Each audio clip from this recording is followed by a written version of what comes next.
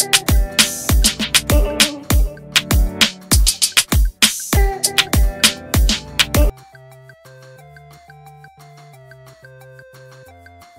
มป์ที่สองพลอย ขอนแก่นผงาดแชมป์สนุ้กหญิง Scottish Open รุ่น 21 ปี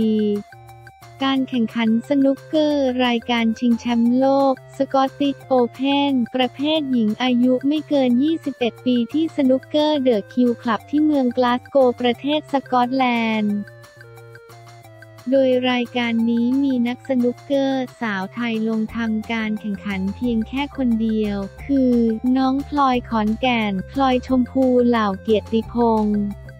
ซึ่งในเดือนกุมภาพันธ์ที่ผ่านมาเพิ่งคว้าแชมป์ที่เมืองเชฟฟิลด์ประเทศอังกฤษ รุ่นอายุไม่เกิน 21 ปี การแข่งขันในรอบ 8 คนสุดท้าย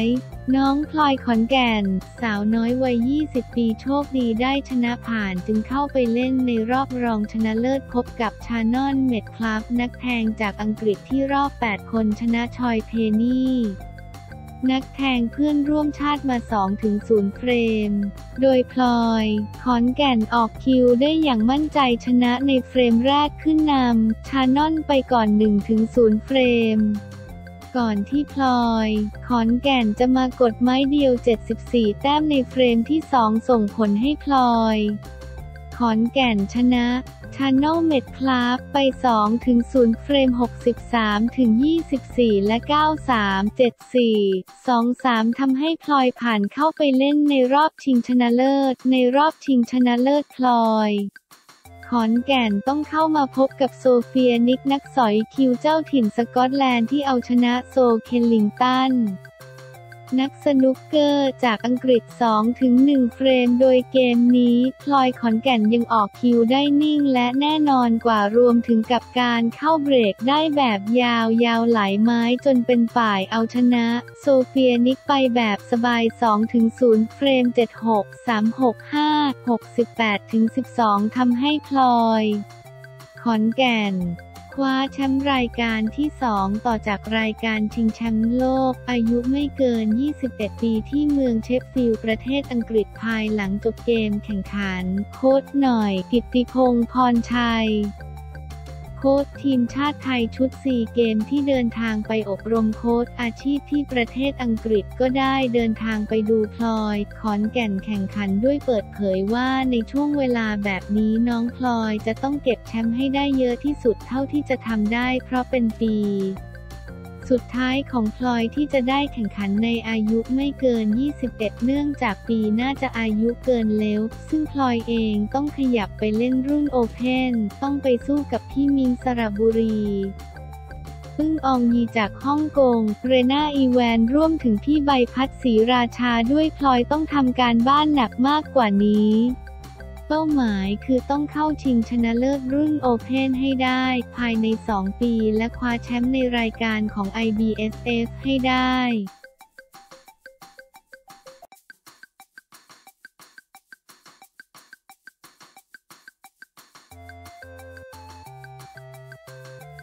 ชมพู่น็อตโมเมนต์หวานไม่แพ้คู่น้องสามีแพทริเซียโน้ตเลย รวมภาพประมวลภาพโมเมนต์สุดสวีทกลางงานไปอีกฟีลวัยรุ่นถ่ายตู้สติกเกอร์อีกต่างหาก ชมพู่น็อตหวานไม่แพ้คู่น้องสามีแพทริเซียโนต เป็นค่ำคืนแห่งความสุขของคู่ว่าที่บ่าวสาวที่กำลังจะลั่นระฆังวิวาห์กันวันที่ 22 ธันวาคม 65 นี้แล้วนางเอกสาวแพทริเซียกู๊ดกับไฮโซหนุ่มหวานใจโน้ตวิเศษ รังสีสิงห์พิพัฒน์กับปาร์ตี้สละโสด bachelor and bachelorette ในเมื่อคืนที่วันที่ 22 ตุลาคมที่ผ่านมา โดยทั้งสาวแพทริเซียและโน้ตต่างก็ลงภาพโมเมนต์แห่งความประทับใจในค่ำคืนดังกล่าว พร้อมขอบคุณครอบครัวและเพื่อนๆที่มาร่วมในคืนปาร์ตี้สละโสดที่มีทั้งความสนุกสนานเฮฮาและซึ้งจนเจ้าสาวน้ำตาไหล รวมทั้งโมเมนต์หวานๆของว่าที่เจ้าบ่าวเจ้าสาว ท่ามกลางคนบันเทิงคนสนิทเข้ามาร่วมในงานจำนวนมากแบบอบอุ่น งานนี้พี่ชายอย่างน็อตวิสรุตไม่พลาดคงภรรยาชมพู่อารยาพี่สะพ้ยมาร่วมปาร์ตี้สละโสดด้วยล่าสุดแม่ชมโพสต์ภาพความหวานไม่แพ้คู่น้องสามีแถมเป็นโมเมนต์น่ารักถ่ายเป็นตู้สติกเกอร์ร้อยแอกหวานกันเลยทีเดียว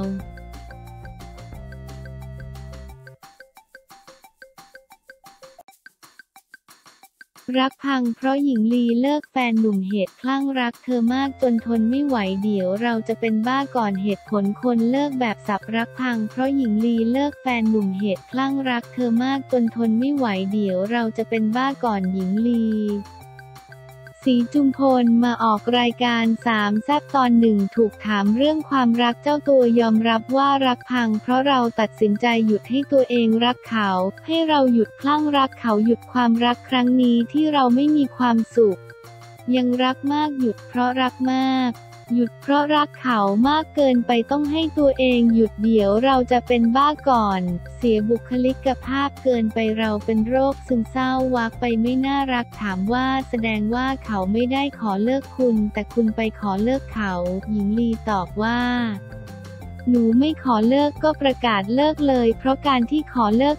10-20 ครั้งเวลาเขามางอ หนูก็จะคืนดีใจอ่อนก็ประกาศเลิกเลยให้ศักดิ์ศรีค้ำคอไม่สามารถจะกลับไปได้ถมน้ำลายรดหน้าตัวเองไม่ได้ต้องให้สังคมเป็นพยานหญิงลี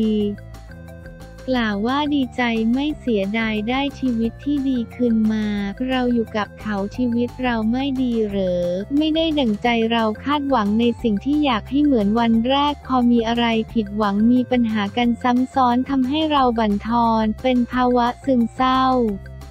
มีปัญหาหน้าบูดเปิดพัดลมเบอร์สามออกรายการทีวีหญิงต้องสนุกขึ้นเวทีหญิงก็สนุกค่ะแฟนๆ พอเปลี่ยนรถขึ้นรถตู้เราก็เครียด ใจลอยกินข้าวก็ไม่ตักใส่ปากเป็นอัตโนมัติตอนนี้ไม่เครียดแล้วร่าเริงแจ่มใสดี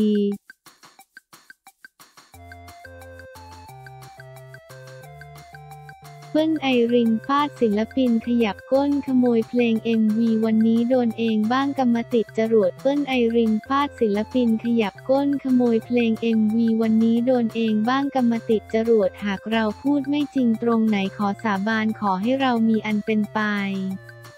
กลายเป็นเรื่องร้อนที่หลายคนติดตามและสงสัยกันอีกครั้ง เมื่อดาราสาวเปิ้ลไอรินสีแก้วโพสต์ข้อความในเฟซบุ๊กอ้างว่าโดนศิลปินขยับก้นเบอร์ต้นๆของประเทศ ขโมยเพลงและเนื้อหา MV ไปก่อนที่จะลบข้อความนี้ออกจากเฟซบุ๊กไปในเวลาต่อมา ข้อความที่เปิ้ลไอรินโพสต์ระบุว่าใครที่ติดตามเราจริงๆ คงจำได้ว่าช่วงต้นปีเราเดินทางรอนแรมไปคนเดียวกับบาร์บี้หมาเราไปอยู่บนดอยที่ห่างไกลความเจริญเพื่อหาแรงบันดาลใจที่จะแต่งเพลงหลังจากแต่งเพลงจบแล้วเราขับรถเดินทางเข้ากทม เพื่อสานฝันต่อความที่เราไม่มีค่ายเป็นฟรีแลนซ์เราเรียกทีมทำ MV ที่มีเพื่อนศิลปินในวงการแนะนำมาบันทึกเพื่อให้เขาไปเขียน storyboard ซึ่งเราเคยคุยกันมาเป็นเดือนให้เขานำไปสานต่อเราส่ง record เนื้อเพลงส่งไอเดียสร้างเรื่อง MV จากหนึ่งสมองสองมือเรา หลังจากนั้นทีมงานนี้จากที่เคยรับโทรศัพท์ตลอดทุกครั้งก็หายสาบสูญจนเดือนหนึ่งผ่านไปมีศิลปินเบอร์ต้นๆของประเทศ ที่ขยับก้น เอาเนื้อเพลงจากไอเดียเราไปทำเพลงเขาหน้าชื่นตาบาน คนรอบตัวเรารับรู้เรานอนร้องไห้อยู่อาทิตย์หนึ่งขนาดอยากจบอนาคตในวงการและอยากย้ายประเทศ จนวันนี้เราทราบว่าเขาออกมาไลฟ์สดร้องไห้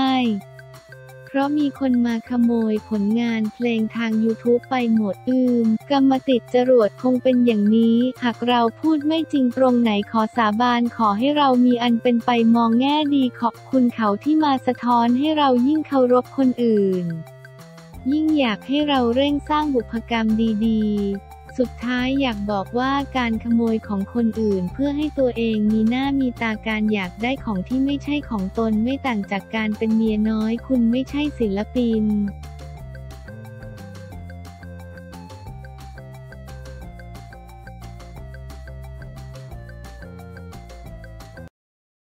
うん。